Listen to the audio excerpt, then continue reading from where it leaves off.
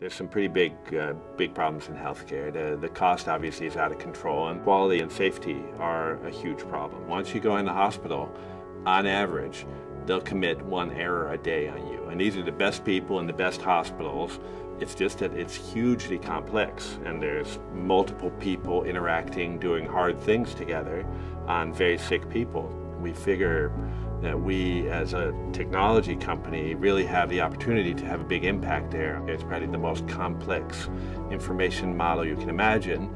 Uh, the problem is the information lives very securely but in very distinct places. The question is how do you bring it out while keeping it secure and create new layers of information, and some of those will be in the cloud, and some of those will be in very protected systems locally. How do you take that stuff that's currently falls through the cracks or sits in a repository where nobody looks at it? How do we get that out, yet keep it secure, analyze it, package it in a way, get it to the people who need it so that they have it at the point of care where people need it?